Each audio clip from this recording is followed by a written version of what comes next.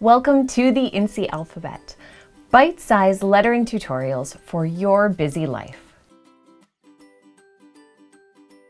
We're going to be adding a ribbon to the bottom of this, and the ribbon is not going to be a consistent width like I typically teach with regular ribbons, and that's because it's coming here out of an upstroke, which means that the upstroke has minimal thickness, or even if it's a monoline, it still has minimal thickness. So what you want to do is you want to draw a line that gently increases in size. So here, and guidelines always help, here it's closer and then it slowly grows to get nice and wide down in this area. You want it to be large enough, and maybe it should even be larger a little bit more quickly, so that you can write something in that ribbon, like the date that you moved into your new home, or a marriage date, or any sort of important date, or your favorite quote, even for your family, so that that can sit underneath in this ribbon.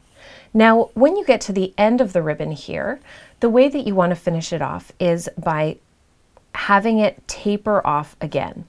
So bring it back up a little bit tighter than it was before. So I'm actually going to tighten it up a little bit sooner. And then at the end here, you can simply give it a nice pointed finish, as if the ribbon has rounded back in on itself.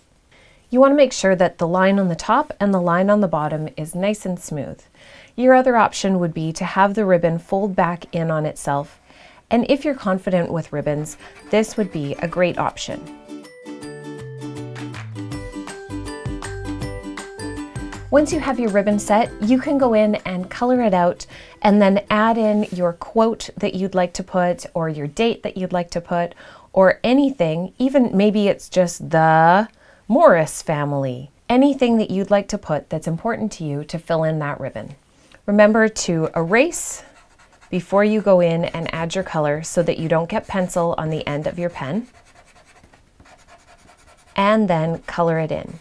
You can also think about using the coloring techniques that we did in the letter L to ensure that you have depth and dimension inside your ribbon itself and even where it crosses over the M.